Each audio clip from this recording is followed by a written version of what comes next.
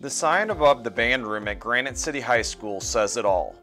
Home of the award-winning Marching Warriors. And that hasn't changed in 2021 after the Marching Warriors won the Illinois Marching Band Class 5A Championship for the fourth time since 2017. The kids did phenomenally well.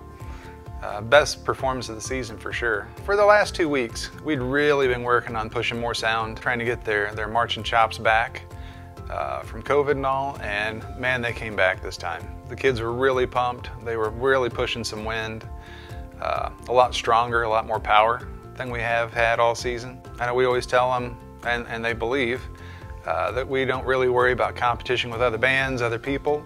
Uh, your competition's with yourself every single day. If you come in today and you do better than you did yesterday, you win. Uh, if you don't, then you lose. I, I, really believe that coming off the field, they know if they played well or not.